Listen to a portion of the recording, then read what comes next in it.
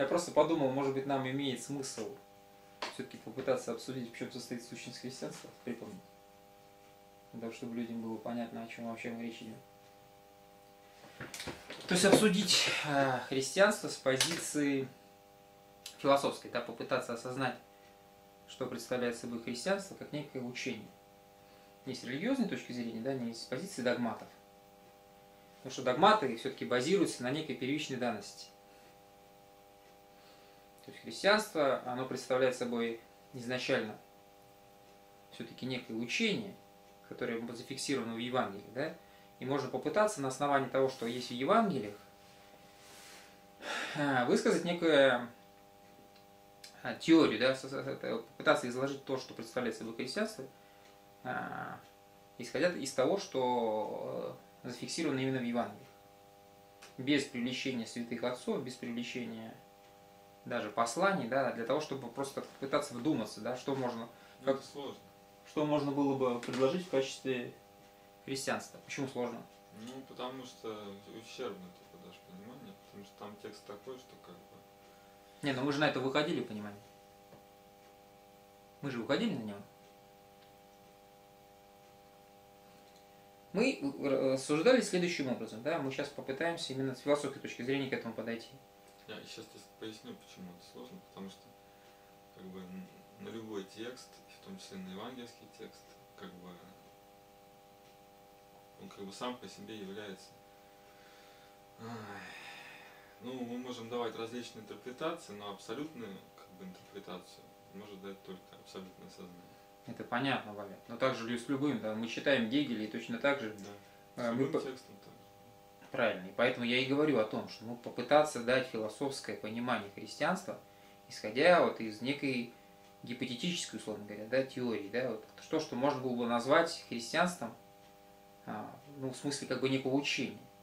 Но только просто перевести э, э, те действия, те, те формулы, которые дает Христос, в некий более удобоваримый вид, да, вот некий вид более близкий к тому, что называется философией, да, чтобы изложить его просто в более простой форме, чтобы понимать, с чем мы имеем дело. Ну, в меру нашей ущербности. Да, в меру на нашей ущербности, естественно, в меру на нашей ограниченности. А потом уже можно просто с этой теорией работать и можно пытаться понять, соответствует она, допустим, святым отцам, не соответствует эта теория, соответствует она там, э, допустим, посланиям или не соответствует, и корректировать, да, в связи с тем, что если не соответствует, допустим, то в чем не соответствует, пытаться осознать, почему не соответствует, и проще. То есть вот есть некая первоначальная все-таки интуиция того, что христианство можно изложить в виде некого учения.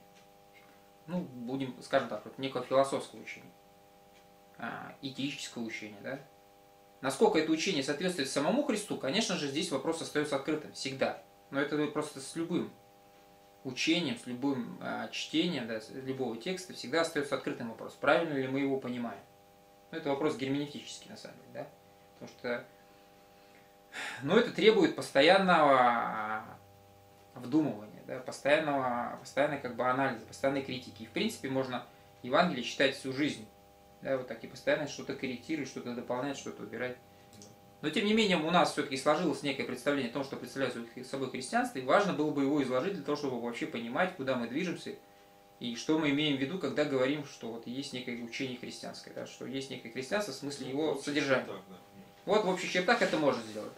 Я вот и предлагаю сейчас это именно изложить, попытаться, да, я буду как бы рассказывать, а вы там, если какие-то будут возникать э, там, пояснения, тоже добавляйте, чтобы сложилась общая картина. Мы же к этому общим, совместными усилиями пришли. Общая картина состоит в следующем. В свое время обсуждали вопрос, что такое праведность. Да, вот э, есть праведность есть некая праведность, э, которая зафиксирована в Ветском Завете, а есть некая праведность, которая зафиксирована в Новом Завете. И вот если сравнивать эти две праведности, нельзя сказать, что это одно и то же. Ведь праведность как-то есть некое отношение к Богу. Да? Под праведностью понимается исполнение Божьей воли. И вот э, Бог, э, прежде всего, конечно, еще до грехопадении, как бы вот у него была какая-то своя воля, он заповедовал какую-то одну заповедь, да? Там, причем заповедь состояла в том, что не ешьте от плодов а, дерева познания, да, там, собственно, был какой-то один запрет. А, и вот люди его нарушили, там и возникло грехопадение. То есть, собственно, если бы люди этот э, запрет не нарушили, то они, пока они его не нарушили, они были праведны. Точно так же понимается в Ветхом Завете, да, что вот есть некие 10 заповедей, да, которые Бог заповедал нам. Ну, будем говорить о 10 заповедях, хотя на самом деле можно обсуждать, а, что в Ветхом Завете присутствует больше заповедей, да, и евреи там выделяют их там больше, там, там порядка 600, что ли, там, Интересно было предписаний. Э, это же заповедь, заповедь отрицательная, там не ешьте, да? Да. А, по-моему, я могу ошибаться, но проверять. Он дал еще положительную заповедь, плодитесь и размножайтесь. До грехопадения. Может быть, я ошибаюсь, может быть, после грехопадения. Не, по-моему, после Не, грехопадения. Почему? До. Он когда створил их, а, человека, он сказал, а, живите и наполняйте землю. Ну ладно, это как бы уже в частности сильно можно проверить, посмотреть. А, Мы уже обсуждали это. Суть вопроса в чем состоит, в чем как бы ветхозаветная праведность выражается? Она выражается в том, а, что человек должен соблюсти некие законы, да, то есть Бог не требует от человека какой-то внутренней праведности, да, не требует в каком-то отношении его души, да, он требует соблюдения некой формы. И вот это соблюдение этой формы можно выразить э, в двух, э, в двух вещах. Э, Можно это выразить в том смысле, в каком раб повинуется господину, да, вот это из страха это наказание. Это одно понимание.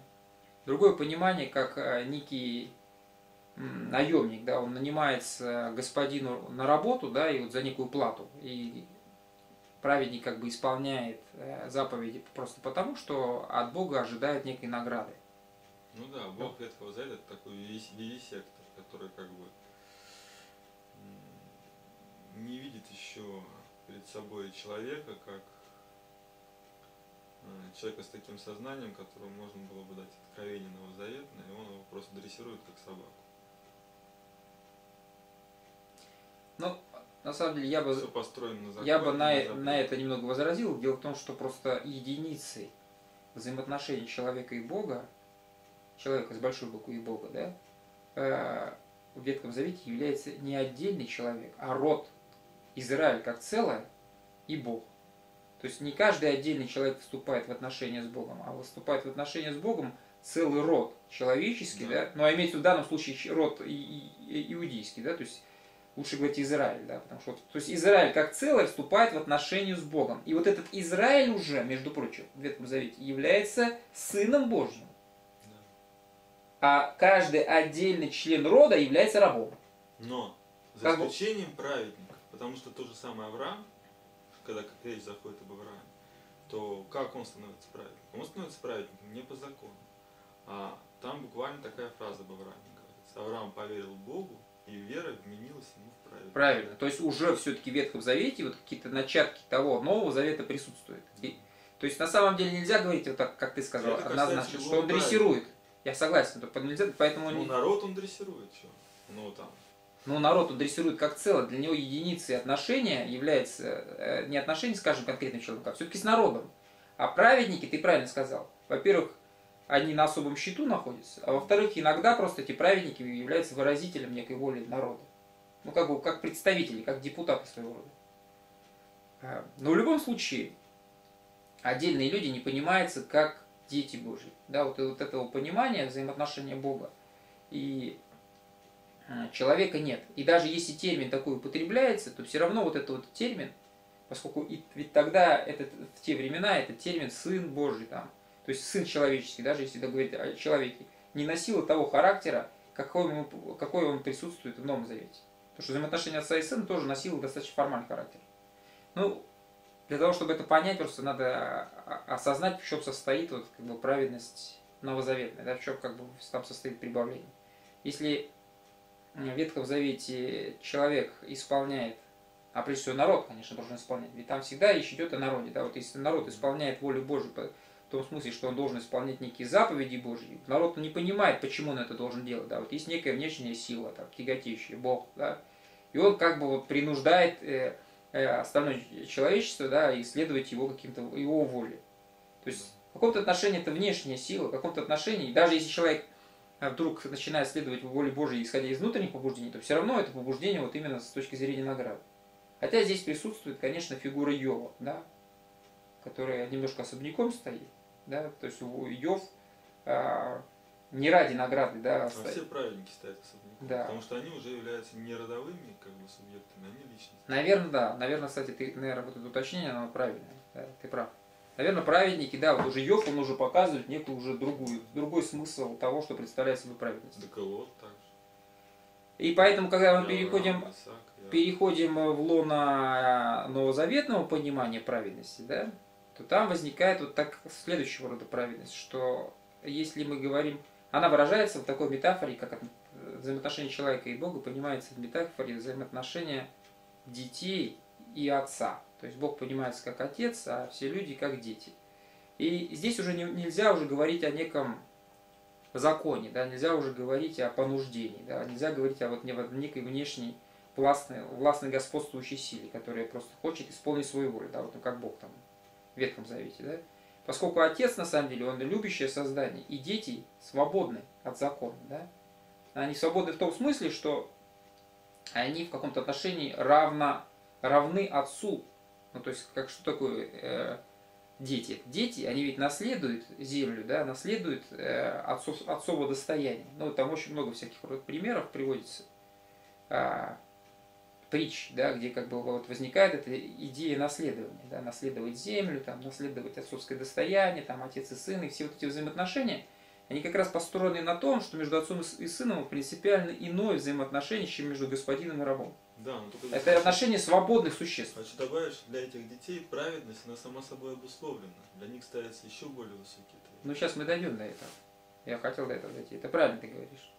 То, То есть, должны быть ребенок, ребенок, э, скажу так, э, человек, а, ну скажем, сын Божий, да, просто э, все эти разговоры можно также применять и для дочерей Божьих, но поскольку женщина все-таки как бы тогда еще понималась немножко особняком, то будем говорить о сынах, сыновьях Божьих, да.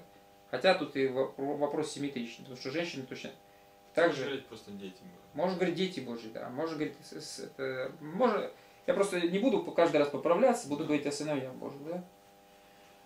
Так вот, э, с точки зрения, с точки зрения взаимоотношения отца и сына, э, сын следует воле отца не потому, что отец его принуждает э, следовать этой воле, а потому что сын чувствует от некую внутреннюю ответственность за, то, за тот образ отца, который сын несет в себе. Ведь по сыну оценивают отца вот, если мы берем не, взаимоотношения, не только взаимоотношения а, человека и Бога, а просто взаимоотношения любого отца и сына, то всякий раз, когда мы смотрят на сына, э, высказывают ведь нечто об отце, потому что в, любом сыне светится отец. Да?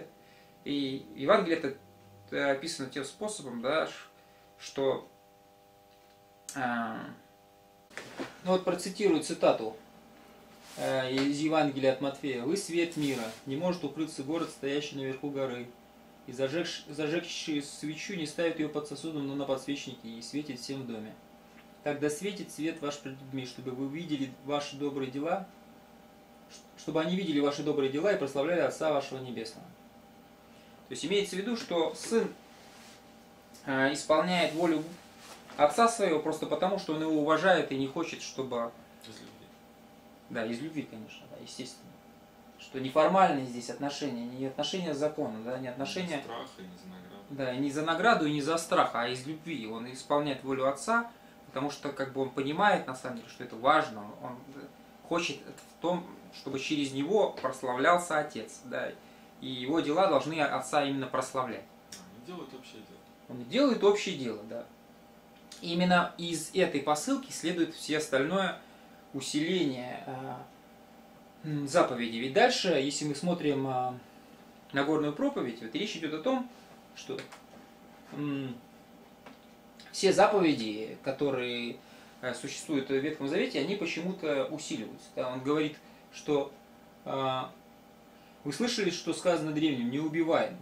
Кто же убьет, подлежит суду. А я говорю вам, что всякий гневающийся на брата своего напрасно подлежит суду. Кто же скажет брату своему рака, подлежит Синедриону, а кто скажет безумный, подлежит гиене огненной. То есть странно было, получается, да, что как будто бы здесь усиливается закон. Но на самом деле речь идет не об этом, речь идет о некой ревности. Да? То есть сын не просто хочет исполнить э, закон, да, который предписан всем. То есть не, не, не просто хочет исполнить нечто формальное, а на самом деле у него есть вот некая внутренняя ревность. И речь идет о том, что вот то, что, то, что волю отца сын воспринимает как некое внутреннее свое движение. И он, если он воспринимает это как некое внутреннее движение, он полностью всем своим существом э, движется к Богу, да, всем своим существом э, движется к своему отцу. И поэтому э, его движение, оно усиливается. Потому что просто не убивать – это простое правило. А на самом деле важно не только исполнить простое это правило, потому что Э, ну, если мы ничего даже не делаем, просто на диване сидим, мы уже не убиваем, правильно? Да, он любит отца, любит творение отца. А... Мир любит всех в этом мире. Поэтому действительно тут усиление происходит. Но усиление происходит, э, если дальше вот читать, как раз плане. это усиление происходит на всех уровнях. Да, вот речь, да. если говорится о непрелюбодействии, да, опять же, кто смотрит на женщину. Да, уже, уже на уровне намерения, да, уже если возникает прелюбодеяние, да, то есть уже если только человек смотрит как-то с вожделением, уже это есть, э, тут дело даже не в нарушении заповеди, а есть уже вот это вот некий изъян, да, вот в этой любви к отцу. То есть отец хочет нас видеть совершенными, он хочет э, видеть э, нас такими же, как он сам. Там дальше в Нагорной проповеди об этом говорится, да? Почему надо так поступать там? Почему вот все эти вот заповеди, которые каждый раз усиливаются? Почему вот надо любить даже врагов, да? Да потому что да будете сынами Отца вашего Небесного, ибо Он повелевает солнцу своему восходить над злыми и добрыми, и посылает дождь на праведных и неправедных. Ибо если вы будете любить любящих вас, какая вам награда? Не то ли и делают и? И если вы приветствуете только братьев ваших, что особенного делаете? Не так ли поступают и язычники? Итак, будьте совершенны, как совершен Отец ваш Небесный. То есть, э, суть вопроса состоит в том, что совершенству нет предела. Да, и, мы, и в этом совершенстве, то что, что такое является совершенством для христианина? Это является Бог. Да, и мы движемся, движем, когда движемся в Боге, Богу двигаемся в неком вот это движении совершенства. И вот это движение совершенства для нас Бог является как бы вот неким идеалом и то, как надо себя вести везде. И если Бог э, любит и праведников, и грешников, если Он любит и добрых, и злых, э, то и мы точно так же должны поступать, как Бог. То есть Бог является для нас абсолютным мерилом.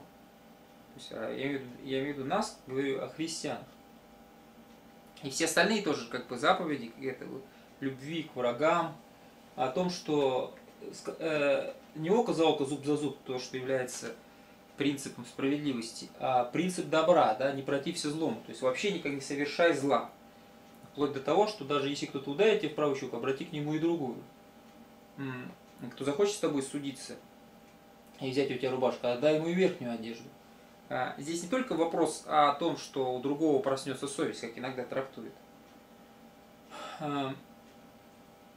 Здесь просто возникает разговор о том, что насколько ты можешь а, отдать другому самого себя, да, насколько ты можешь э, насколько ты можешь э, совершить поступок более совершенно, чем возможно есть вот здесь есть некая вот такая полнота отдачи. Она может восприниматься людьми, которые относятся к этому с позиции вот Ветхого Завета, да, с позиции формализма. Она может восприниматься как безумие. И на самом деле всякий раз, когда всякого рода еврейские учителя пытаются осознать, что такое представляет собой Евангелие, они всегда указывают на то, что Евангелие это нечто экстремистское.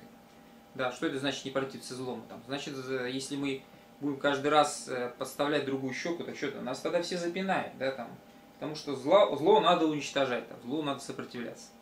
То есть вот всякие вот такие рода заповеди воспринимаются такого рода формальными э, законниками, как нечто э, невозможно, нечто недопустимое. Но на самом деле здесь ведь речь идет для того, чтобы понять вообще, откуда возник такой как бы экстремизм, даже если вот мы так вдумаемся, почему Э, возможна такая ситуация, что мы можем двигаться к Богу, да, вопреки всякого рода разумности, да, но что значит не противиться злому?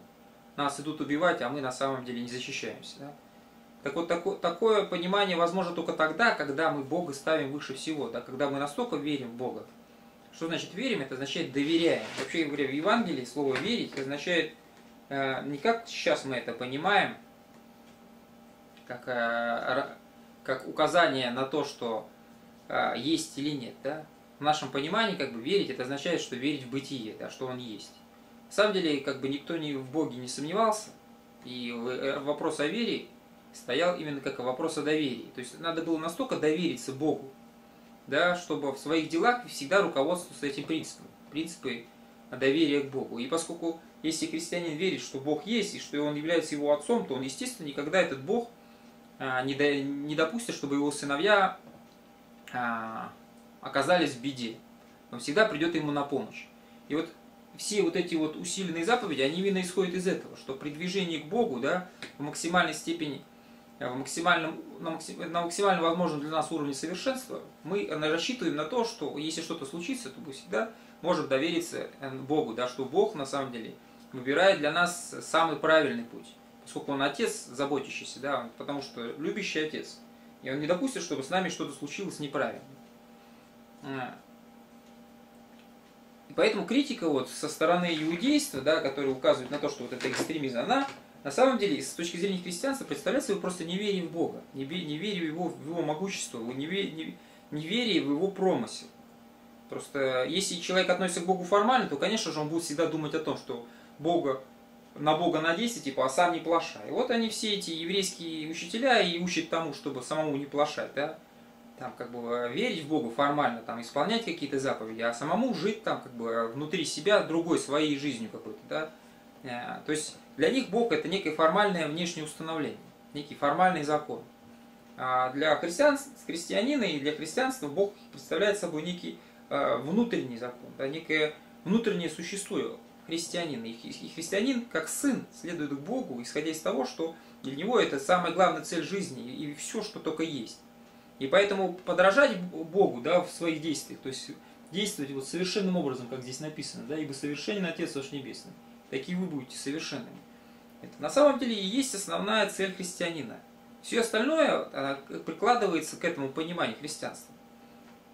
То есть цель христианина – устремиться к Богу максимальным возможным для себя э, способом, да, вот максимально интенсивным и максимально быстрым. Да, там.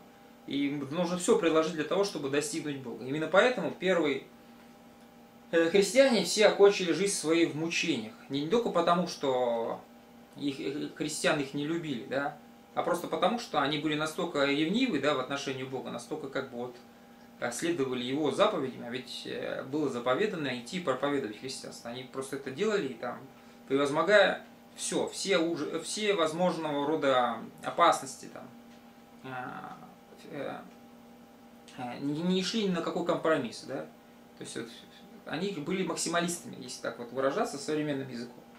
Потому что они верили, действительно, они настолько доверяли Богу, что они, они считали, что как бы Бог в их жизни постоянно проявляет себя.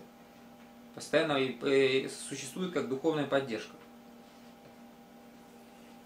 И вот если исходить из этой изначальной парадигмы того, что представляется христианство, в отличие, скажем, от формальной религии, такой как иудаизм, то все остальное, э, все остальные можно рассмотреть, сейчас, не знаю, будем этим заниматься или нет, можно рассмотреть все остальные э, притчи, которые указаны в Евангелии, и если мы будем рассматривать ее с этой позиции, то станет ясно, почему именно так трактуется, а не иначе. Ну вот для, для примера можно разобрать притчу, связанную с тем, что молодой человек как-то подошел к Иисусу Христу и спросил, что нужно сделать для того, чтобы наследовать жизнь вечная. Христос ему отвечает, что исполняй заповеди. Ну, спрашивает, какие заповеди. Ну, Христос перечисляет заповеди, имеет в виду те заповеди, те самые заповеди, которые указаны. 10 заповедей. Да, 10 заповедей, которые указаны в этом в Ветхом Завете. Казалось бы, что тут удивительного, да, там, как бы он, наверное, и сам об этом знал. Ну, так сказал, да, что исполняет из Да, и он сказал, да, действительно, что там в разных Евангелиях немного разный смысл, но вообще говоря, общий, если делать некий общий анализ, да, то там получается так, что он говорит, да, я с детства, говорит, их исполняю. Что, же, что я еще могу сделать? Опять же, вот это возникает да, смысл вот этого совершенства, да, что, какой еще излишек он может добавить. Вот, да, человек хочет, да, чего мне не достает, что еще надо сделать, кроме заповедей. То То есть человек хочет что-то сделать э, в деле Божьем. Ведь э, вопрос идет о том, что мы в каком-то отношении являемся соработниками Бога. Вот если наемник, да, э, или там раб, они выполняют дело Божье, да, ну, наемник и раб просто хотят исполнить заповеди. Но даже если воспринимать это как дело Божье, да, то, то они только хотят его сделать просто из необходимости некой, да, потому что есть некая грозная сила, там, господин, да, и он как бы своим, своим существованием принуждает осуществлять эти вещи то когда мы становимся на позицию сына, и когда мы движемся к отцу, никакого такой принуждающей воли-то нет. И мы на самом деле должны э, сами брать на себя инициативу, ведь мы, мы, когда соотносимся с Богом как с отцом, мы, сыновья Божьи, соотносимся с Богом как с отцом, каждый из нас является свободным, да, как, как вообще сын свободен в присутствии отца. И сам каждый из, каждый из сыновей, он движется к Богу, исходя из некой своей самодеятельности. Да? Мы, каждый из нас, должны взять на себя вот это творчество. Да? Э, как Бог мир сотворил, мы точно так же должны соответствовать Богу да, вот в совершенстве, действовать как Бог. Мы тоже точно так же должны э, быть соработниками Бога в творении. Да? То есть мы должны что-то созидать. Мы не должны не просто формальность соблюдать, да, там, в виде заповедей, а мы должны созидать. И вот здесь речь идет об, об том, что даже вот этот ветхозаветный человек, который вот и решил сделать нечто большее, он уже это осознает, что недостаточно заповеди это исполнить, ведь заповеди это некая формальность. А есть ли что-то еще, можно ли что-то еще вот э, сделать, можно ли как-то еще поучаствовать в соработничестве с Богом? И Христос сразу говорит ему, а вот, э, потому что этот юноша был богатый, продай все, что имеешь, раздай нищим и следуй за мной. И вот это вот следуй за мной на самом деле а, является вот этим э, смыслом совершенства, да, что можно, как еще можно поучаствовать в соработничестве Бога. Э, Иисус сказал ему, если хочешь быть совершенным, пойди, продай имение свое и раздай нищим, и будешь иметь сокровища на небесах, и приходи и следуй за мной. Тут вот самые главные слова, которые, опять же, звучат про совершенство. Мы уже указывали один раз про совершенство, да, когда говорили о том, что даже э, врагов своих нужно возлюбить, да, потому что и Бог точно так же действует, Он одинаково действует в отношении добрых и злых. То есть Бог, как абсолютное благо, Он всегда находится в добре. Да, и мы должны точно так же соответствовать Богу. Да, мы тоже постоянно должны находиться добре и не совершать никакого зла. Даже если против нас совершает зло, мы все равно не должны никакого зла совершать. То есть мы точно так же должны находиться на стороне блага, то есть на стороне добра. Точно так же и здесь призывает и Христос вот к этому совершенству, да, которое состоит в том, что человек может сделать еще больше. У него есть э, ближний, да, и он может этим ближним помочь, потому что он имеет имущество, он может эти имущества раздать. Но недостаточно только имущество раздать. Ну, следовать за крестом, на самом деле, это тоже э, божественное дело. Ну, это связано с тем, что представляет собой фигура Христа в Евангелии. Это отдельный разговор просто. Но следование за крестом это тоже точно так же особое поприще, особое, особое э, Э, богодеяние. Но юноша на самом деле отошел с печалью, потому что он был очень богат. И на это Иисус э, заявляет, что истинно говорим, что трудно богатому войти в Царствие Небесное. Удобнее верблюду пройти сквозь игольные уши, нежели богатому войти в Царствие Божие. Вот здесь я просто хотел как раз про Царствие Божие немного поговорить. Вот здесь возникает некая дилемма для того, чтобы объяснить, э, почему юноша отошел, да и почему вообще богатому трудно в Царствие Небесное войти. Нужно поговорить о том, что такое представляет собой смысл. Какой смысл несет э, богатство э, в Евангелии. Да? Это как бы очень важная вещь, потому что богатство это, это нечто такое, к чему мы очень сильно привязаны, да, если мы его имеем. А, но тут еще как бы есть некое ветхозаветное пересечение. Дело в том, что с ветхозаветным пониманием а, все, что случается с человеком, а как доброе, так и злое, все исходит из Бога. Да, потому что все, все люди находятся в Боге. Если Бог, если человек богатый, то значит этот Бог э, дал ему богатство. А если человек бедный, там, или, допустим, больной, то значит Бог его наказал. Да, наказал бедностью и наказал болезнью.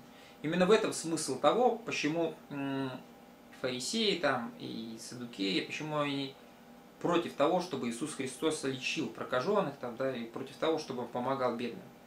Почему? Ну потому что он э, делает, действует это вопреки Божьей воле, потому что Божья воля состояла в том, чтобы их наказать, этих, да, одного проказа и другого там бедностью. А Иисус Христос как бы получается как бы действует вопреки. Они не против, чтобы он лечил, они против, чтобы он исцелял субботу. На это, про субботу там действительно отдельный разговор. Это вообще надо отдельный разговор вести про субботу. Но просто есть, в частности, такое убеждение, на самом деле, что вот мы же говорим сейчас о богатстве, что богатство это с другой стороны. Это является дар Божий. Да. И если ты богат, на самом деле, то тебе богатство дано в силу того, что ты исполнил волю Божию, да, то есть исполнил вот эти заповеди, вот как этот юноша. Не, ну Христос же объясняет, почему, собственно, он против богатства. Потому что, говорит, не можете служить Богу и богатству одновременно, и трудно богатому войти. Трудно, богато. Я просто к этому хотел прийти, а ты меня опередил. Действительно, богатому именно потому и трудно войти в Царство Небесное, да?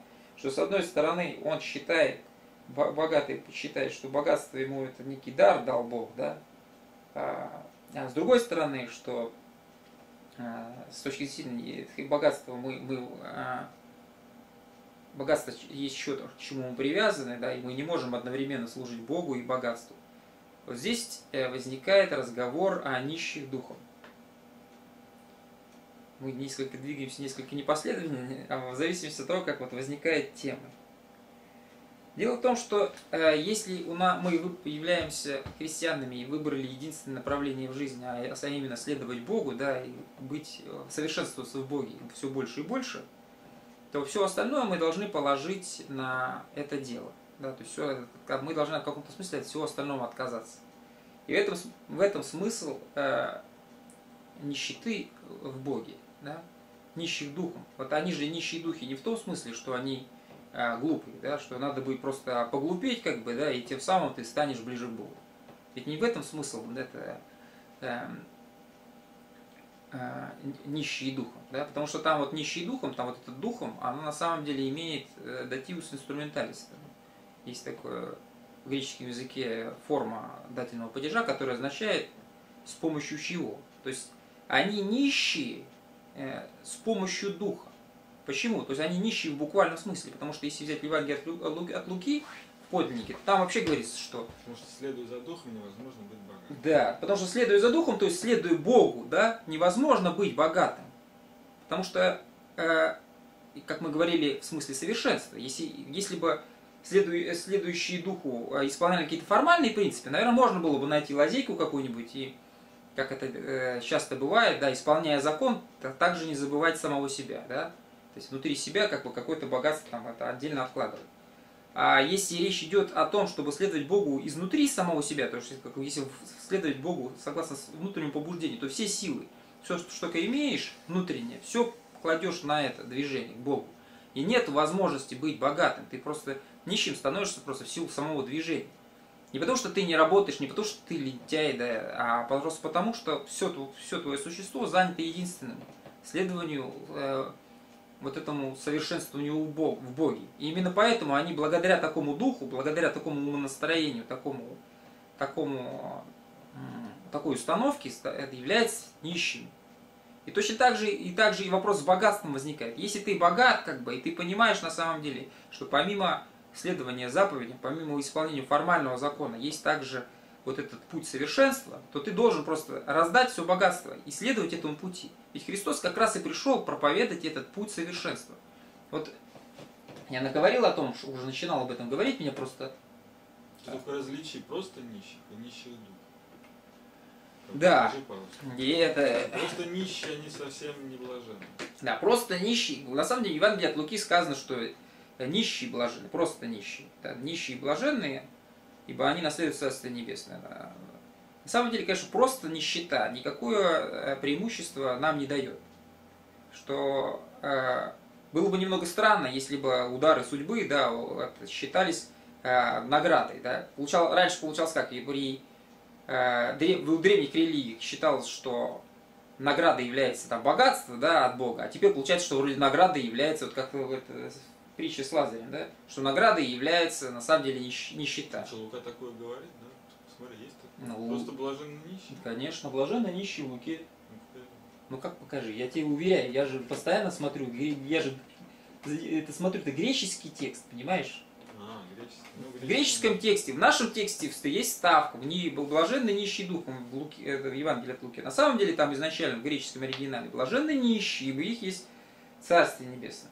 Но сам Христос говорит, что когда пришла женщина, чтобы а, а, облить его ноги этим миром, да, дорогим маслом, Иуда выступил и сказал, что лучше было бы эти деньги раздать нищим, чем тратить на такие Правильно. Христос сказал, нищих всегда имейте. Нищих всегда имейте, а меня не всегда имейте. Именно... А нищих духа он так бы не сказал. Нет, да? просто... То есть о сыновьях Божьих он бы не сказал, что сыновьев Божьих всегда имейте. Иначе говоря... Э... Потому что он и пришел мы сейчас... Подожди, послушай, мы сейчас Евангелие от Луки обсуждать не будем, потому что вот притча, притча о Лазаре как бы указывает на том, что вот Лазарь лежал там э, у дома богатого, да, богатый как бы у него там были струпи, и собаки лизали его струпи, и он хотел там это, хотя бы там что-то напиться, что-нибудь поесть, как бы там, а богатый там жил там пишественно там и блистательно, он там не, нет, и пальцы не пошевелил, да, и вот они оба умерли, да, и почему-то Лазарь вдруг указывается, что он попал на небеса, а богатый тут же попал в ад. То есть получается, что э, богатый как бы проклят от того, что они богатые, а нищие тем, что только нищие, сразу как бы блажен. блаженны. Это странно. На самом деле, Евангелие от Луки есть некое передергивание. Да нет, там не от того, что он богат, попал он в ад. Не, понятно, от что... Того, что он не помог этому нищему. Понятно, да. Это то, что он нищему не помог, и э, он наказан, и про богатого вот можно именно то, что ты говоришь, и такой вывод сделать, что... За его а за что Лазарь-то попал? Хорошо, а Лазарь за что за попал? Что зла не делал. Да, Лазарь... А Лазарь не делал зла, потому Нет, что он и не том, мог зла что сделать. Он даже не проклинал этого богача, который не подавал ему. Он Ну, имел то есть- смиренное сердце, и поэтому Бог ему дал награду на небеса попасть. Хорошо, но в любом случае получается, что вот нищета, болезни и прочее, как бы, да, гарантируют нам некое, как бы, вознаграждение. И даже более того, ведь в Луке в начале Евангелия, это на горе проповеди, звучат слова, что блаженны нищие, ибо их есть Царствие Небесное. То есть все-таки как бы нищета в каком-то отношении более по- предпочтительна, чем богатство. В буквальном смысле. С точки зрения Луки, да. Да, но мы как бы опираемся на Евангелие от Матвея, поскольку Лука здесь все-таки неясно как-то выражается, и, потом, и, и недаром, на самом деле, Луку поправили, да, потому что блаженны все-таки не просто нищие, а нищие духом. И в этом отношении все-таки Евангелие от Матвея более точное. И когда мы говорим о том, что блаженные нищие духом, имеется в виду, что вот люди, которые полностью доверились Богу, да, которые полностью положились на Бога и движутся в своем совершенствовании к Богу, у них просто ни на что другое время не остается, да, и вот они и даже если они богаты изначально, они не сохранить. да, они могут его сохранить, потому что всегда есть рядом нищий, да, которым можно все раздать. Нищие, убогие, больные. Потому что дело Божье, оно всегда есть. Оно никак не было таких времен, чтобы нельзя было, не было бы дел Божьих для того, чтобы их осуществлять. Всегда есть люди, которые требуют помощи, всегда будут присутствовать. И тут никаких денег не хватит. Да, и никаких денег не хватит, конечно. Чтобы исцелить все, все, все раны и как бы утешить все слезы, вытереть. Да, и вот э, мы как бы подошли, возможно, в чем-то э, к пониманию того, что такое Царствие Небесное. Возьмем Евангелие от Марка, поскольку оно ну, более точное, ну, оно вообще является э, наиболее ранним Евангелием, да, и каких-то в отношениях оно там более э, точно описывает некие события. Да, вот э, ну вот был Иоанн Креститель, и проповедуя крещение покаяния и отпущение грехов. Дело в том, что вообще вся а, весь Ветхий Завет, он посвящен как бы вот идее этого покаяния. Да? Вот народ постоянно как-то совершает грехи, они накапливаются, да, и каждый раз вот возникают пророки, да, которые вот призывают народ к покаянию. Собственно, Иоанн Креститель это был один из таких вот по- последних перед Иисусом Христом а, ветхозаветных пророков, и вот он при- призывал к покаянию, да, для отпущения грехов. А, И вот после него, после того, как э, Иоанн был схвачен, да, выходит на проповедь э, Иисус Христос. Да? И вот он вроде бы говорит те же самые слова, да, кажется, но по смыслу на самом деле они другие. Причем как бы я здесь э, не просто выражаю э, это наше мнение, да, а, есть такой эм, архимандрит, архимандрит Януарий Ивлев, да, он является профессором Санкт-Петербургской духовной академии, и вот у него э, есть популярная комментарий к э, Евангелию от, от э, Марка, и вот он там строчка за строчкой комментирует э, Евангелие, исходя вот из греческого оригинала, да, и комментируя его в комментарии, они очень точны, как бы, и очень э, интересны, да, и вот в частности он как раз указывает на то, что если смотреть оригинал э, греческого текста, да, то э, то, что проповедует Иисус Христос, а он говорит, что исполнились сроки и близко Царствие Божие, кайтесь и веруйте в Евангелие, да. На самом деле, э, если взять греческий оригинал, то там а, правильный перевод должен был бы быть следующим. Дело в том, что там, когда говорится, что исполнились сроки, и, и говорится, что близко Царствие, Царствие Божие, то имеется в виду такая форма глагола, как перфект. Те, кто, может быть, изучает там, другой, английский язык, там, наверное, знают, что это за форма. Это форма прошедшего времени, э, в котором э, выражается некое действие, совершенное действие, да, когда результат уже налицо э, в некотором э, прошедшем времени, э, до, того, до, до того события, как вот, о котором говорится. То есть перфект это некое совершенное прошедшее, время. И поэтому получается, что когда Иисус Христос говорит о том, что исполнились сроки и близко Царствие Божие, Он имеет в виду, что вот уже, вот в недалеком прошлом, уже вот уже наступил срок, да, и уже вот не просто она близко, что она когда-то там, где-то сейчас не это далеко, ну так, но оно приблизилось, да, стало чуть-чуть ближе. А имеется в виду, что оно вот уже здесь, прямо уже на земле. Э, то есть уже совершилось это событие, не просто близко, а оно уже ощутилось здесь. Оно, то есть в пространстве и времени оно вот уже здесь. Э, кайтесь, и дальше говорится, кайтесь и верите, и веруйте в Евангелие. На самом деле там когда говорится в Евангелии, имеется в виду, а, в Евангелии же переводится как благая весть, да? Имеется в виду, э, там стоит э, артикль, да, а, определенный артикль. И надо бы правильно переводить в это Евангелие. В какое вот это Евангелие? А в то Евангелие, которое перед этим говорится, что исполнились сроки и близко Царствие Божие. То есть правильный перевод был бы так, что... Евангелие буквально благая весть. Да, буквально благая весть. Что вот какая благая, благая весть? о чем? о том, что Царствие Небесное вот уже здесь и сейчас есть. Приблизились. Не, при, нет, дело в том, что приблизились, там указывает на то, что оно когда-нибудь приблизится. Оно уже вот, здесь и сейчас. И э, отец Януарий это трактует тем способом, что вот он Христос, как, который есть на земле, он и есть Царствие Божие. Но можно это трактовать тем способом, что наступил срок, когда э, стало возможным осуществление на земле а, Царствие Божие, да, когда люди, то есть наступил срок, что э, изменилось отношение Бога к людям. Да, вот раньше все-таки отношение было некое отстраненное, как отношение между господином и рабом. Там, э, какое-то отношение э, Бог еще не явил себя каждому конкретному человеку как отец. А вот теперь он явил. Да, теперь каждый человек может стать сыном Божьим. много личностей. Да, и что возможно, на самом деле, если говорить об общении, да, это уже то говорится о том, что вот, царствие, что вот на земле уже возможность Царствия Божия осуществлена. Осталось только людям включиться в соработничество с Богом для того, чтобы на земле его уже построить, вот здесь и сейчас. То, что оно стало возможным. Возможно, не просто как-то абстрактно, когда-нибудь там в это, э, на небе, да, а здесь и сейчас на земле.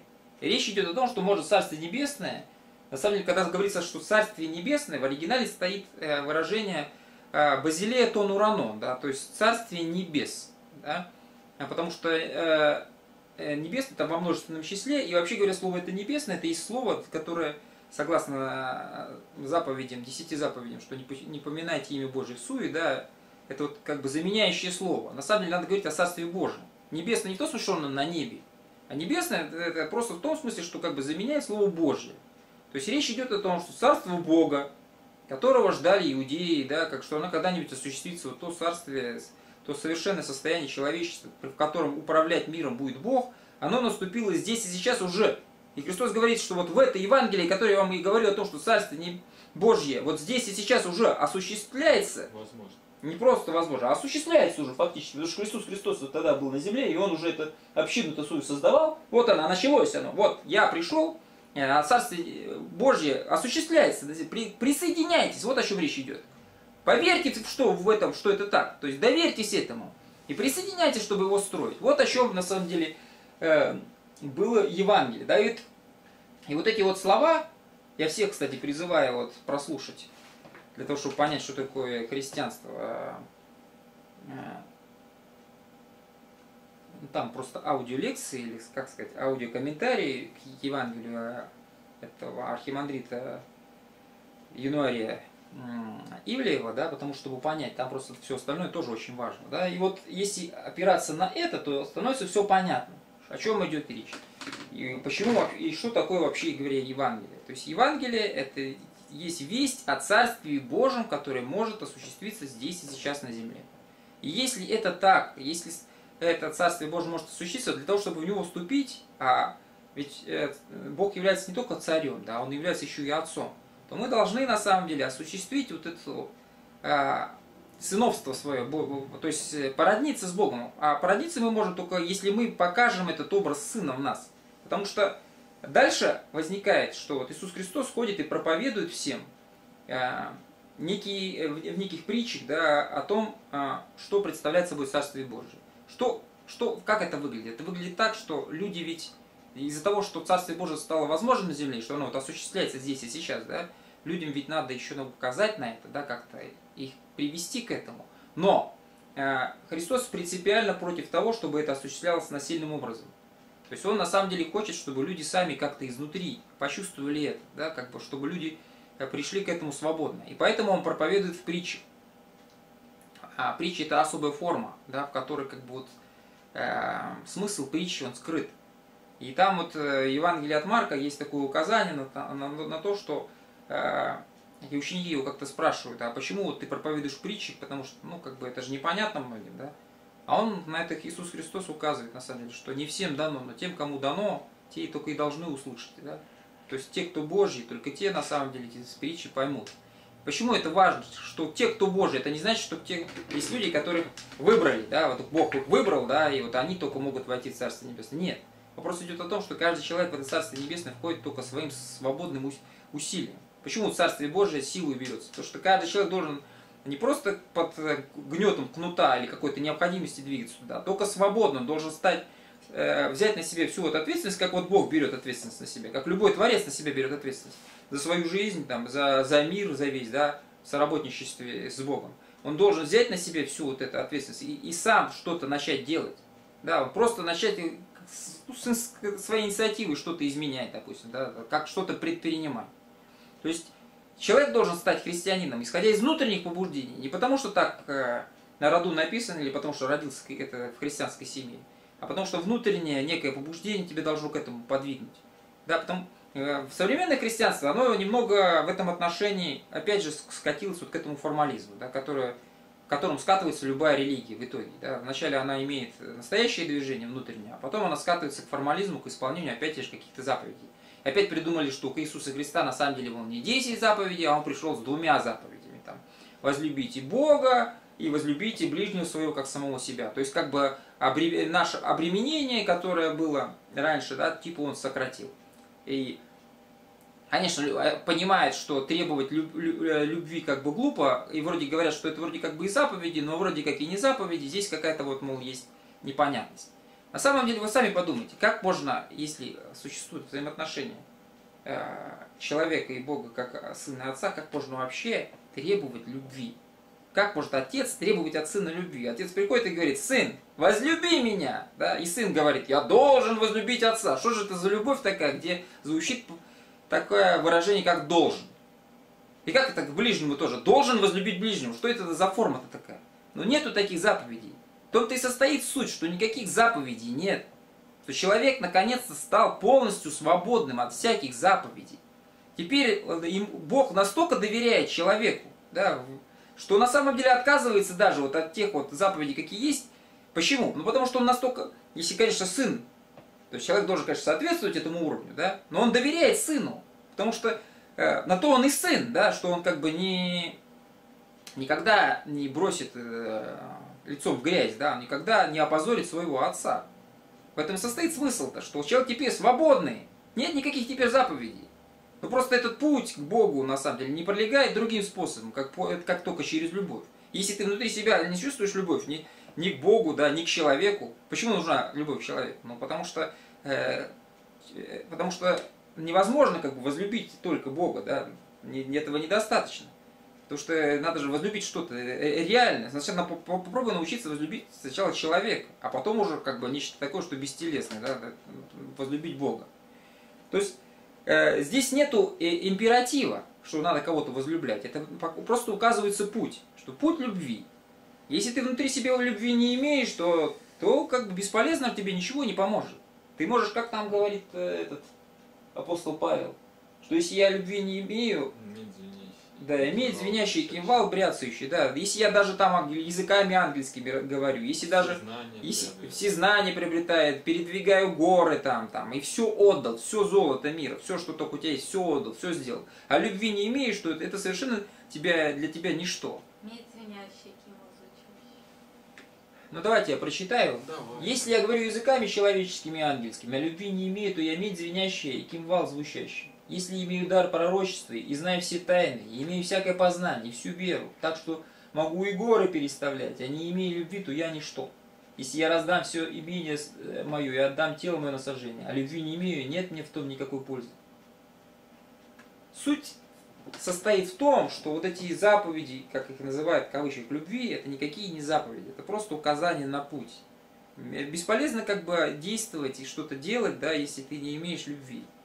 То есть, э, когда мы понимаем Бога как Отца, то мы можем вступить в это, э, в Него, э, вступить в отношения с Богом как сыновья, только в том случае, если у нас есть любовь. Если любви нет, то все бесполезно. Вот в чем разговор идет. Да, но если нет любви, тогда мы автоматически сползаем на уровень рабов и наемников. Да, именно так. То, как бы, и поэтому Христос идет и ищет вот этих это, детей Божьих, да, вот в общину он берет именно этих, да, которые Бога любят. Любит всей душой, как нам говорится, возлюби э, Бога своего всей душой, всем сердцем, всей крепостью своей, да, вот э, всем а, разумением своим. А. Ну непонятно, кого он берет вообще. Не-не-не, почему он рассказывает эти, это надо было, наверное, тоже бы где-то найти и процитировать. Но мы тут подняли на самом деле сейчас э, сложную тему. Реально я думаю, что за раз мы сможем ее поднять. Видимо, не удастся. Ну, а, для начала. Да, для начала мы какой-то вброс сделали, просто хотели показать, что то, что мы говорим о нашем понимании христианства, оно на самом деле фундаментально.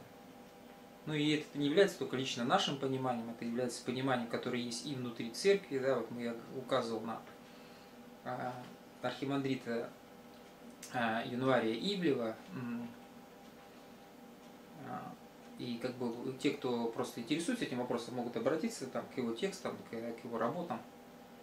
И там все, что мы говорим, оно там присутствует на самом деле. То есть это как бы на самом деле ученые вещи, да, это, это богословские вещи, это не, не какая-то там наша выдумка там личная, не какая-то наша ересь там, да, там. Даже в своей проповеди Иисус Христос как бы вот действует из свободы, да, он не, не принуждает никого, он рассказывает все притчами, иносказательно для того, чтобы вот именно люди внутри себя как бы свободным способом направились это по пути совершенствования в. И это очень важно. Да? Э, по поводу, отдельный разговор по поводу смерти Иисуса Христа. Да? А, ну, если как бы брать только именно богословскую сторону вопроса. Просто Иисус Христос пошел до конца в том, что сам проповедовал не протився злому, он проповедовал, да, если ударите в правую щеку, подставь левую и прочее. И он как бы не мог, естественно, как бы уклониться от, от э, того смысла, который, которому сам учил. И когда его схватили, он, естественно, не сопротивлялся, он пошел а, до конца, для того, чтобы показать, что для него вот то, что он проповедовал, его, его вера и доверие Богу, да, потому что человек, который находится под Богом, с ним ничего случиться не может, да, потому что он как Сын Божий, он как бы всегда находится в Божьих руках. И он полностью доверился Богу, и то, куда бы повела бы его судьба, да, э, для него уже было, это, это любое, любая такая судьба была бы Божий, Божий день, это деланием, да, там, потому что он как бы, как вот Христос, когда он молился в саду там Гефсиманском, да, он там говорил о том, что да пусть пусть будет твоя воля, да, а не моя, да, то есть он полностью доверял себя воле Божией. Куда воля Бога поведет, туда он и готов был идти. И вот э, случилась крестная смерть. А, собственно, как бы даже если не вводить сюда богословие, связанное там с тем, что Иисус Христос понимается как Бог и человек, а просто рассматривать вопросы, исходя вот из обычных человеческих представлений, то можно сказать о том, что в этом а, крестной смерти как бы осуществляется вот это вот а, движение к Богу до конца, да, преодолевая... До смерти. До смерти, да. То есть ничто такого человека, который внутренне освободился, да, вот от неких оков, который признал себе сына перед Богом, да, его уже ничего не может остановить. Уже никакая внешняя сила, никакое насилие, там, никакие муки, ничто над ним уже не властно. Он уже в Боге в том смысле, что он уже в свободе, да, вот Бог есть некая абсолютная свобода, да, вот как бы и до истребления к этому Богу делает нас тоже такими же свободными. Ничто иное нас уже остановить не может. Можно говорить, что он победил мир. Да? да, и он победил, именно в этом смысле он победил мир, да, что мир уже над ним не властен. И точно так же, на самом деле, вот первые христиане, да, они тоже, многие из них там, они были казнены на крестах или каким-нибудь другим способом казнены. И многие из них именно вот так трагически погибли. Почему? Потому что они точно так же последовали за, за учителем, не, не, не потому, что они хотели умереть, естественно, не в этом смысл. Смысл состоит в том, что они вот за свою внутреннюю свободу, за свое совершенствование в Боге, как бы они шли до конца. Ничто их не могло остановить. Да? Так вот самое удивительное, что христианство на сегодняшний день считает, что если последовательно идти за Христом, то ты окажешься на кресте и умрешь. Ну, правильно, так это и есть путь правильный. Потому что если мы действительно доверяем Богу и действительно как бы верим во все, что проповедано в христианстве, то нас ничто не может. Ну что это жизнь, это некий этап, да, это не, некий, как бы, некая проверка. Нет, да, я имею в виду, что... Перед вечностью. Это ладно, но... Как можно сравнивать? Как можно сравнивать Божий мир и мир, который как бы здесь, да? Это показывает Почему? все несовершенство нашей жизни. Да, конечно, конечно, потому что если бы люди были бы совершеннее, они бы, в принципе, могли бы, наверное, и. Божий мир устроить на земле. Да, выжить хотя бы. Ну, будешь больше мира на земле. Если ты будешь последовательным христианином, ты окажешься на кресте и умрешь пока что они даже, эти христиане, не могут выжить в нашем мире. Если, быть, если будут последовательны. Не то, что построить Царство Божие нет возможности. Нет возможности даже выжить.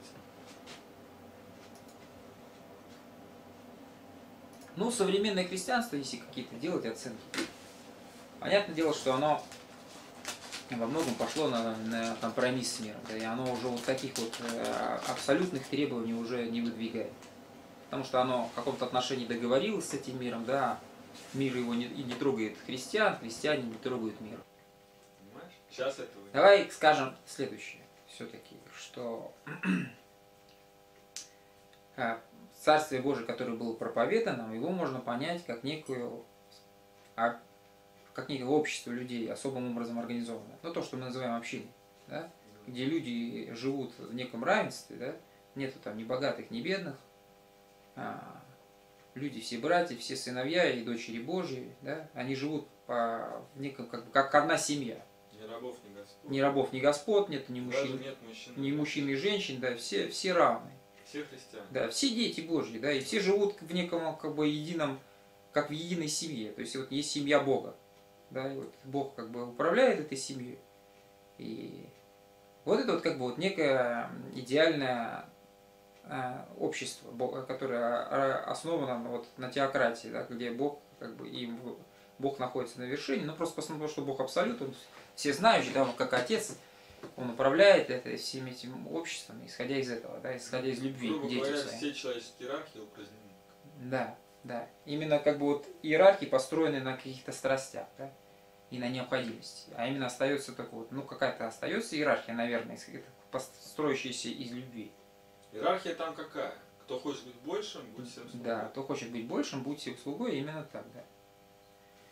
Э, так вот, ну возможно ли такое на Земле? Но до сих пор не было возможно. Там, может быть, отдельных каких-то локальных местах где-нибудь там. Я думаю, обязательно где-то было локально. Да, локально, там, в монастырях, может быть, каких-нибудь, которые вновь созданы, да? Там, да, да. Может быть, каких-нибудь там пустынях, может быть, это было возможно, наверное. И там два-три монаха. Там да, но поскольку мы живем в окружении государства постоянно, да, и каждый раз возникает этот вот конфликты между тем, что Божье, да, и тем, что человеческое, то всякий раз вот не удается, да, люди не дают. То есть люди не дают вот, устроить на земле вот это такое человечество, Ну. Божье царство. Почему? Такие люди не дают. Ну, брось.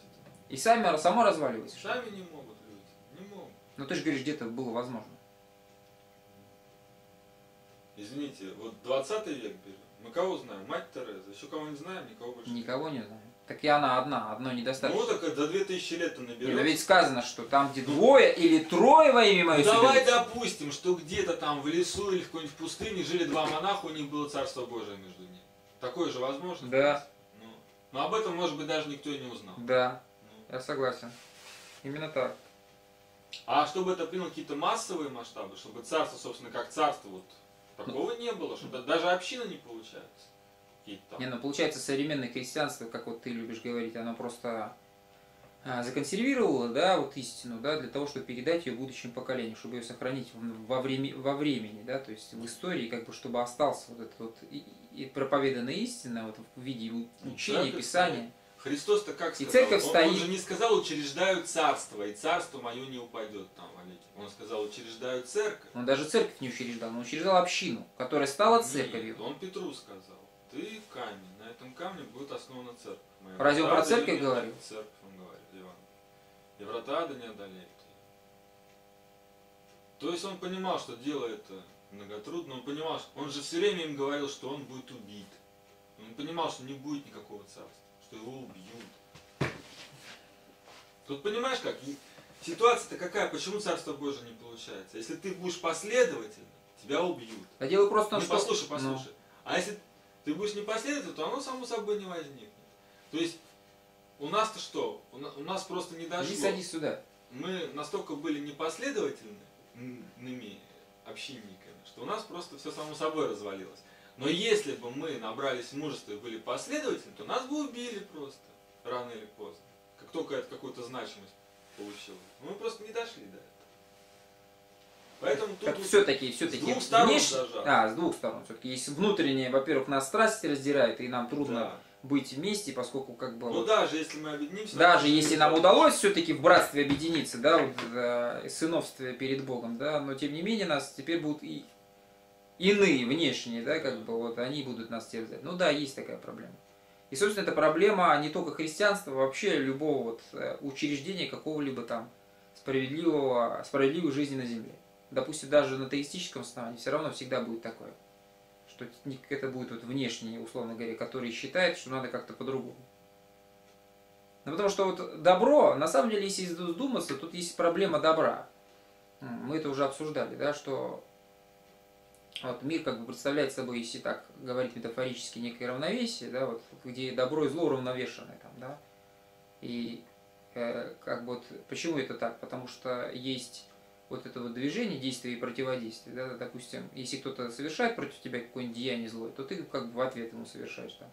Если он совершает доброе, ты в ответ ему доброе, да, вот есть какая-то вот постоянно это вот от- ответное действие, да, это как вот в мире де- действия и противодействия. Всегда существует вот этот закон, вот какая-то качели такие, да, вот э, как постоянно уравновешивающиеся действием и противодействием. Точно так же не только в мире физическом, но также в мире этическом, да, и вот э, в мире этическом постоянно вот эта вот справедливость, ведь что такое справедливость? Это опять же некое равновесие, да, вот э, восстановление этого равновесия. Она, эта справедливость каждый раз восстанавливается, да, Э, и либо она может откла- чаша может отклониться в одну сторону, человек какой-нибудь там э, может вдруг ну, нарушить все, все как бы законы и кого-нибудь там поработить долгое время, да, но тем не менее он же смертен, да, и как бы справедливость все равно восторжествует, рано или поздно. В этом состоит, собственно, как бы вот весь мир основан на равновесии, и в этом состоит справедливость. То есть справедливость постоянно восстанавливается. Но вот э, добро не таково. Если, допустим, вдруг встать на одну чашу весов, потому что добро и зло находятся вот в этом постоянном качании равновесия, да, если стать только на одну чашу весов и стать только на добро, да, то тогда получается, что ты как бы в мире создашь вот это искусственное неравновесие, и весь мир против тебя. Откуда берется, вот как ты говоришь, откуда вот берется, почему всякий раз, когда человек настаивает на добре, он постоянно попадает в ситуацию, что его, его уничтожают? Ну потому что он не может злом на зло ответить. Потому что это равновесие для него Не нарушено. может установить равновесие. Да, он сам его нарушил, он стал, он сказал, я стою на добре, что бы ни случилось, не буду отвечать злом на зло. Не буду вот э, постоянно восстанавливать это равновесие. Пусть, но все зло на него устремляется. Куда он может деться-то, если он стоит на добре? Естественно, его уничтожают. И в этом ты прав. Это, в этом вот как бы твоя логика, она оправдана. Именно вот в этом рассуждении. Да, но я-то хочу что сказать, что еще давай тут маленький комментарий, что мне кажется, что это имело значение для ранних христиан. Почему? Во-первых, потому что там было рвение, несопоставимое с сегодняшним, потому что это все-таки начало, да, начало это как бы максимум. А с другой стороны, э, они пробовали там, столетие, два, три, это Царство Божие построить. И с ними шла борьба, естественно, да? Но потом стало понятно, что не могут. Почему и договорились. Они ну, не опасны, христиане. С ними договорились. Не могут. И я думаю, что первичная здесь проблема, и она у нас правильно наша, что наша община не является каким-то, что мы какие-то выродки там рода человеческого, что только именно мы не смогли. А что как раз это правило, что ну, мы же не видим перед собой примеров Царства. Как, да, вот что сказать, там вот община, там вот община, там царство. Ну, в массовом порядке. Может да. быть, где-то там тайна существует, конечно, но мы просто об этом не знаем. Да нет, не, это же как написано светильник, его не ставят. Если ну да, да, да. было, то было бы об этом известно. Под стол не ставят. Почему ну, мы с тобой фильм смотрели, помнишь? Да подожди. Ну вот были оптинские старцы. Вот там вроде что-то было. Туда Толстой рвался, Достоевский, там, то все. Может там что-то, я не знаю, было ли. Не, ну какие-то были же, наверное, святые там. Ну, да. отдельные эпизоды, наверное, в христианстве все-таки существуют. Были Серафим Саровский. Но Серафим Саровский был. Отдель, ну вот именно так у нас получилось в христианской церкви. Это же, посмотрите, Нет, не старообрядцам. Подождите, это же не только в православной церкви, Он это же вообще в христианской церкви. Есть святые, а общин святых-то нету. Отдельные святые есть, а да. а общины нет, да. А должны-то быть общины святых, а их нету. Мы не знаем таких.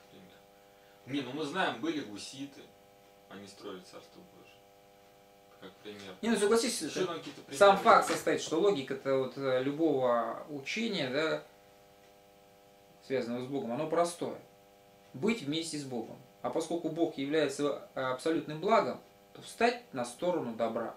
И, собственно, как бы даже если вот брать вот наше изначальное разделение на праведников ветхозаветных и праведников новозаветных, все равно на самом деле и в том и в другом случае речь идет о том, что не совершать зла, что значит соблюдать заповеди? Влад, не совершать зла. Мы этого не можем. Мы не можем. Ну. Стоять на стороне добра. Но только ветхозаветные праведники, они не совершают зла. Но делают ли они добро? Неизвестно. Достаточно просто не совершать зла. Вот это ветхозаветное понимание праведности. А новозаветное понимание праведности недостаточно только не совершать зла. Ты Подожди. Обрати, обрати Но важно еще делать добро. Послушай, ты обрати внимание, что ведь и праведники ветхозаветные, они же единицы. Ведь нет Да, согласен, да, тоже. Это тоже вопрос. Тоже вопрос, согласен. Но тем не менее, э, все-таки э, вопрос сохристианства каким-то образом стало всемирным явлением. То есть в этом есть какая-то Божья сила-то. Ведь как там говорил один из фарисеев, ты помнишь, когда обсуждался вопрос, там, что делать с Иисусом? Оставьте этих людей. Не, не что делать, что делать с этим, с Павлом, по-моему, да? да? Он сказал, оставьте этих людей, если это дело Божье, то вы не можете ничего да. сделать. А если это не от Бога, оно само само, само по себе рассосется. Ну вот э, не, не рассосалось. Не рассосалось, да. Там христианство осталось. Значит, это дело Божье. Значит, если человек в полном ревении последует Богу, да, как бы, и будет двигаться в этом совершенстве до конца, до упора, и отдастся этому по-настоящему, то есть то со всей страстью, ну, умрет он, понятно, ну, но ведь э, ты пойми на самом деле, что жизнь не есть нечто самоценное перед лицом Бога. Жизнь это на самом деле некий эпизод, потому что, э, ну, мы как бы предполагается, что мы вечны, а то вот эта вот земная наша жизнь, там, это просто некий эпизод. И почему мы должны ради эпизода жертвовать всей вечностью? Если мы на самом деле боимся смерти, да, то есть мы, мы считаем, что вот этот эпизод, там 70-100 лет там, нашей жизни, это есть для нас все, что только есть, значит мы просто в Бога не верим, вот и все, мы ему не доверяем. Мы считаем, что подозреваем, что, наверное, Бога нет, раз мы постоянно э, оглядываемся на то, что а вот что с нами случится и прочее. Ведь если бы вдуматься, если бы все христиане последовали вот э, э, примеру первых, самого Христа и первых вот праведников, да, это и христианских, то, может быть, и мир был, был бы другим. Он ведь и стал другим благодаря им. Ведь на самом деле все, что в мире изменено, изменено вот, э, ну, кровью праведников. А как иначе? Ну, да. То есть все на самом деле полито обильно кровью этих людей. И именно они ведь мир изменяют. А не те, которые вот сидят, условно говоря, в компромиссе, да, там, условно называют себя христианами, как бы. Там. Они считают, что они сделают все, что они только могут. То есть ничего не делая, там, ходя в церковь, молясь, они, делают, они считают, что делают все, что могут. Да, и так они Бога возлюбляют. Формальность ему отдает, только Богу Бог, Божьи, а там, а, это, а, а кесарю кесарю. То есть воздают каждому по достоинству. Ну да, на работе взятки берет. И проще, проще, да. Человеку человеческое, да, можно дальше продолжить. Но тем не менее, на самом деле, факт состоит в том, что в пол силы он живет в пол силы. Как бы и почему он, ну, это э, его жизнь должна продолжиться.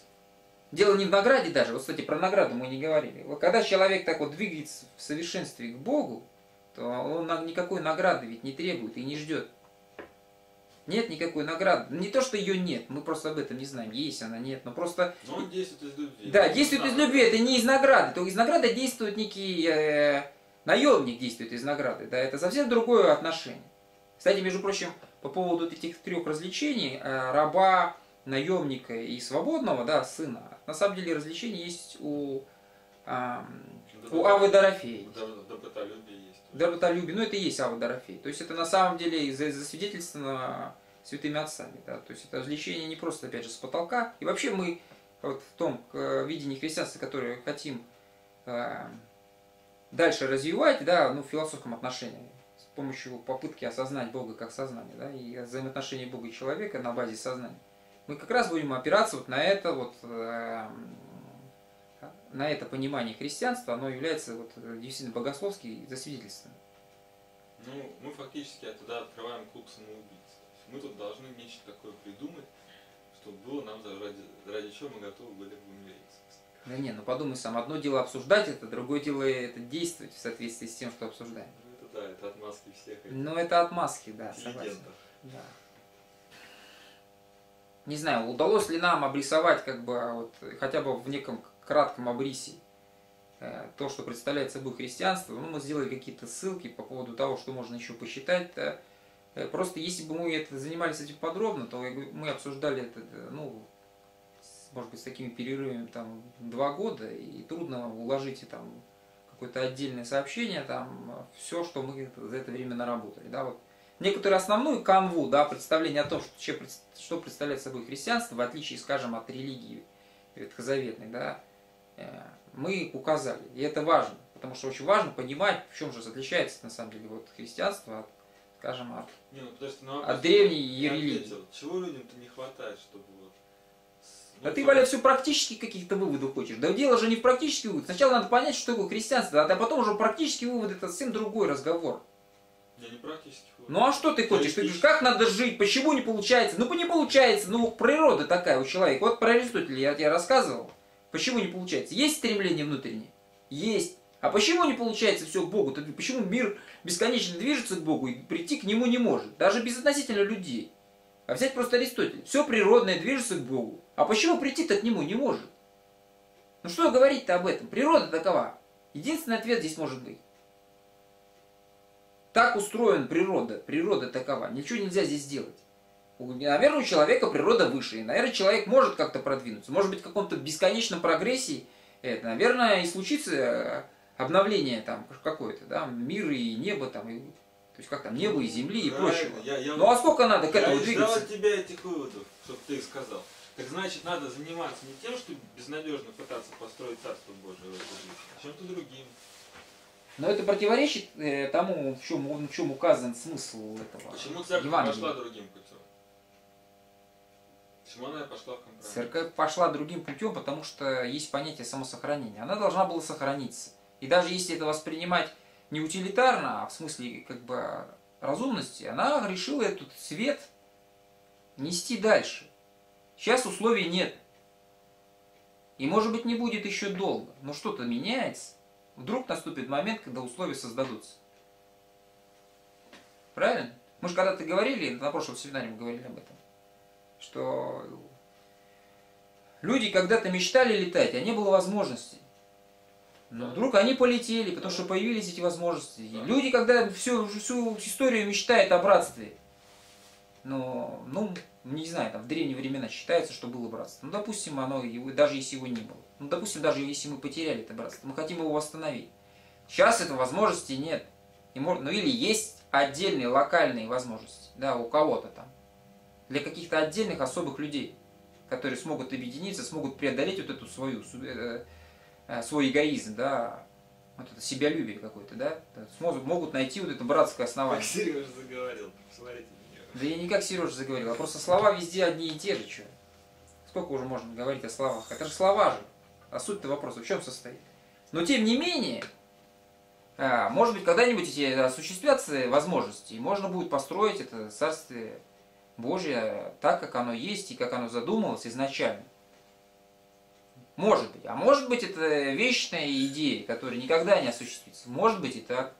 Но мне кажется, на самом деле, что поскольку в ней так много разумности, поскольку она так много при, э, э, ну, так много как бы людей понимает и, и ее осмысленность, да, там, и ну, так много христиан, даже, допустим, пускай, может, пассивных, но там, но тем не менее христиан, то мне кажется, рано или поздно все-таки она должна победить. Ну, Булат, это можно еще, знаешь, как Сим победишь, понимаешь? Так проинтерпретировать. Смотри, совершенства уже нет предела. Да. да. И общество человеческое все равно будет совершенствоваться. Все равно и так совершенствуется. Может быть, Царство Божие уже есть? Нет. А, ты имеешь в виду, что тогда уже оно возникло, Христом проповеданное, оно просто потихонечку, как... Помнишь, про зерно мы говорили, да?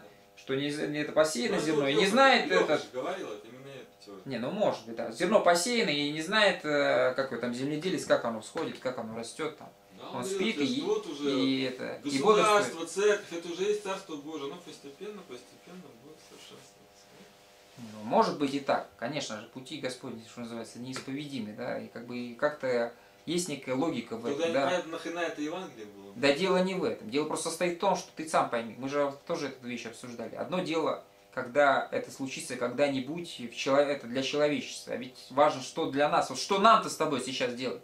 Ведь у нас же с тобой личные отношения с Богом. У каждого из людей личные отношения с Богом. Ну да.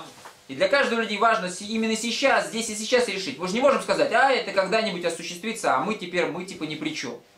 Ведь это же зов прямо к нам, каждому. Если Царствие Божие здесь и сейчас да, уже это, есть. этот зов ко всем на, на протяжении многих тысячелетий. Правильно. Так может быть мы должны уже сейчас это сделать начать. Это может мы быть... должны сделать все, что можем. Но мы можем что-то, мы должны что делать. можем, наверное. Ну, так и люди многие могут, и многое что делают даже, более того. Вопрос даже в этом, что много что делают. Но мы все-таки не, не пупки свои не рвем, наверное мы делаем мало все равно. Что даже если мы что-то и делаем, то все равно мало.